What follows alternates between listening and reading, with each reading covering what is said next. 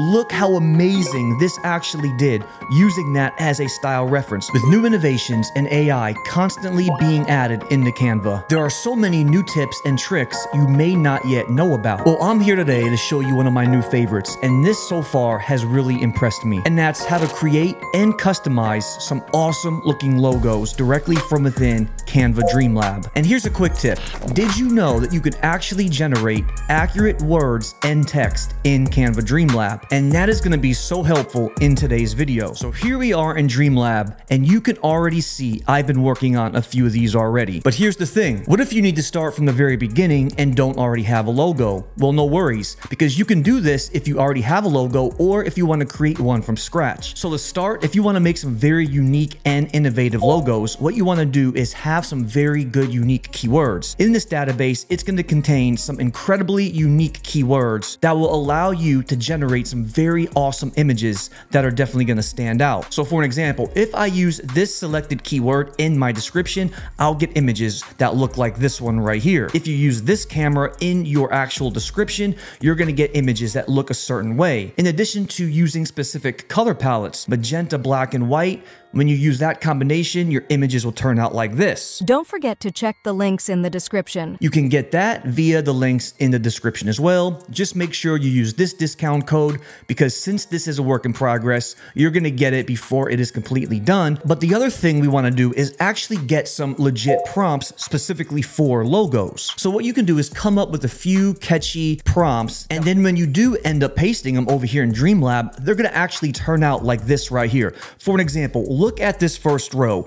Every single line of text when it comes to the word Vikings, and even this one that says Pacific Islander, it got the words 100% accurately. Other generations in the past, even in Leonardo AI, my text didn't turn out as accurately as I wanted it to. Look how amazing that these logos look. There's a link in the description to try Canva Pro free for 30 days. But I'm going to show you how to actually get these without needing a prompt as well. There are some other different variations where you're going to get some very unique and clean and modern style of icon logos like this one right here. Now remember, make sure you pay attention to your screen because anytime we come across a really good prompt that worked, I'll go ahead and show it and then slow the video down. That way you have time to write it down. But let's just make believe we don't have creative prompts, okay? And let's just start with something simply from scratch. So let's remove my prompt box I have at the top and let's go ahead and start with something I highly recommend to start with a good looking logo, okay? So in my prompt, I'm just gonna say modern clean logo of a fox.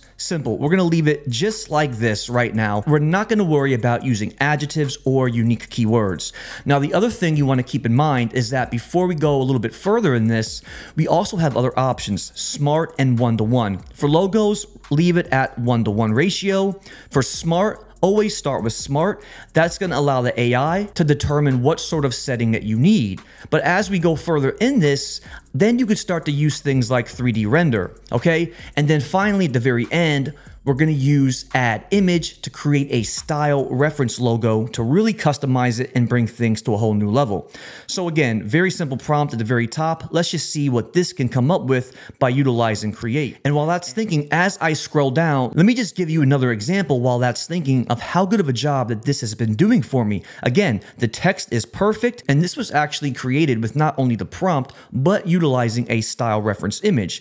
But back at the top, now look how good this turned out. Again, Again, very generic prompt. Modern, clean logo of a fox. Now, when we go to the next level, let's just say I like this fox right here. I think already right off the bat, this does look pretty good, okay? Remember, if you want to take it up a notch, you can also edit it in the design, which I'll show you again in a second. Here are the ones of the panda, and I didn't even have to say the word panda, and look, this looks pretty cool. So right off the bat, good logos, and these are only served as examples for right now. So let's just say right now, we like the way this fox looks. I'm very happy with this one. So let's use this prompt one more time. Okay, modern clean logo of a fox. And now what we're gonna do this time is now add a twist in some unique keywords. And now let's add neon LED strips to it, okay? Go back over to Canva and now hit that comma.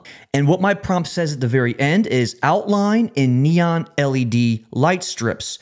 Let's generate that fox one more time and now see what happens with this one. Okay, now look, this looks pretty good. This last one looks amazing and this one looks amazing right here. So you can see the two differences by just the subtle prompt changes. Now watch this. Let's go ahead and now download this image. The reason why is now we're going to use this as a style reference, okay? So now back at the top, if I say logo, if I change it from a fox to a panda, how can I ensure that I'm gonna get it to look like this fox again? But still using the same style, but I don't want a fox, I actually want a panda. Now go ahead and select add image. Now, once you select it, you could see the only option we have for right now is style reference. In the future, you could see that we have content reference and image to image also coming soon. So select style reference. We have different options. We can upload files or select from recent generations. Either way, remember, I did go ahead and download that Fox, but we can also just select recent generations since it's already here for us to choose. And now there is that Fox. We're gonna use this image, so select use image. You can see right here, it's added as my style reference, but this time Hopefully we can get a panda from it. Now go ahead and now select create, okay? Now, after we see how this turns out, I wanna take things to a whole new level. Oh man, and look how cool this looks. Beautiful job, perfectly done. Let's also change it up, and instead of a panda, We'll say owl this time. And you can keep doing it over and over again until you get one that you really like. But if I open this one up, look how good that looks. That's pretty cool. And even this one, this one looks great too with the word panda. Now remember, right off the bat, it might not get it accurately 100%. That's where you're gonna have to do some trial and error. But the good thing about this is that you have plenty of tokens to start with. But from here, we're gonna edit it and make it even better. But before we do that, look at this cool looking owl one we got right here, okay? Very awesome, very unique unique. I love the way this turned out. But this time, watch this. Now we're going to select upload file. Now look at this right here. I have another image I created in Leonardo AI. I'm now going to upload this one and there it is of this cute little ghost. I have smart selected. Let's do it with that. We're also going to do it again with 3D render just to do a quick comparison when this is done, okay? And while this is thinking, I'm going to remove this ghost and add one more image again as style reference.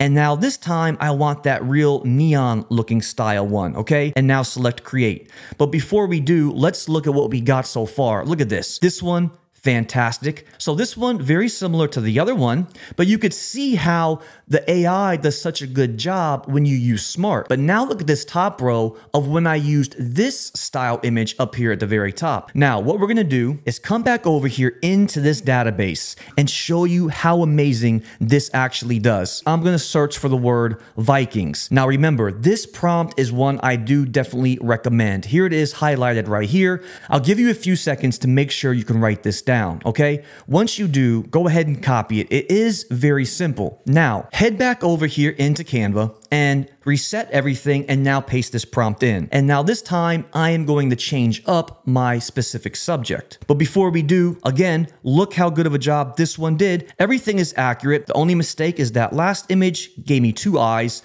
but still not bad at all. It got it so right with this gorilla one right here, okay? And I even made this cool Apple logo. Now let's come back down here to this Vikings one, okay? Let's say I really like the way this looks right here. So I'll select this arrow button that says reuse prompt, and now it's placed again up here at the very top. Now this time I'm gonna go back to smart, hit add image, Use style reference, select from recent generations one more time, and let's do the same exact thing, but now change it up to see if we can get it with this kind of cool looking icon right here of this email icon, okay? Now go ahead and then create this one. Look how amazing this actually did using that as a style reference. Look at all these Viking ones. That looks cool, modern, unique, easy to remove the background. It gave me everything that I wanted. Let's do it with the fox now. Look how amazing this fox logo looks. That is incredible. So now let's say we want to go ahead and choose one. Let's take things to a brand new level and really customize and edit this. But before we do, we have to look at this amazing looking panda one. Look at this panda face. This looks fantastic. Okay Okay,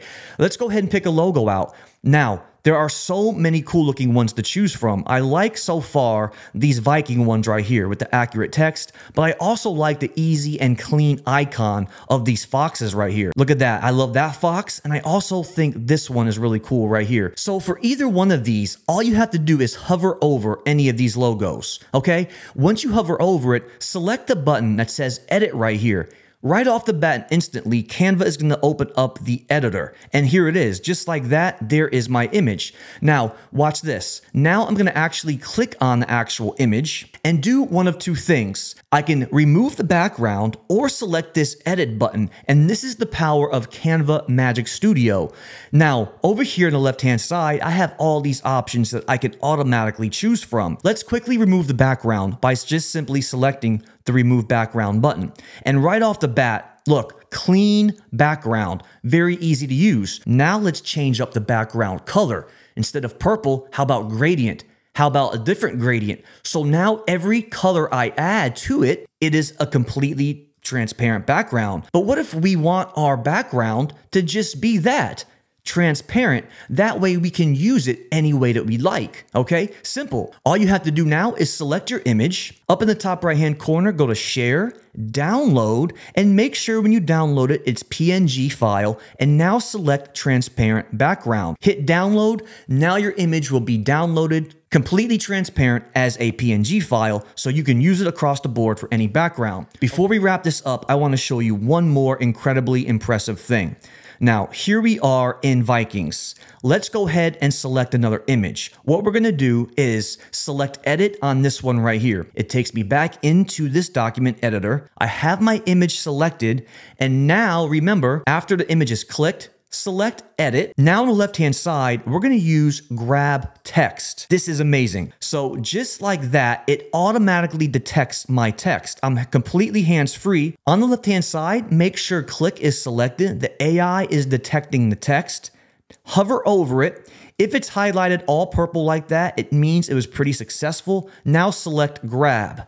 Give it a few seconds, and now look at this. My text is completely detached from my logo. I'll delete my logo. There's my text. I can now change the color of my text. There it is, 100% removed from that logo, okay? Let's hit that edit button one more time. Now watch this. Hover over your area, and right now it's detecting everything. I don't wanna grab the whole entire thing, so in this case, I'm gonna manually do it by selecting brush. Now just brush over your subject that you actually want to grab and remove from this actual file, okay? So I only want the Viking to come out, okay? I want to grab the Viking and only the Viking, leaving everything else. So there it is right there. Now select grab on the left-hand side. Again, wait a few seconds and now watch this. Beautiful, look at that. The Viking is there all by himself. Beautiful job. I can now remove this and there is my Viking. Look at that. Just the Viking by itself. And now look at that. Just like that. Amazing. And I can actually now export and download this as a PNG transparent file. If you like this video, please make sure to hit that subscribe button. That way you'll be notified when more videos like this come out. But thank you so much for watching.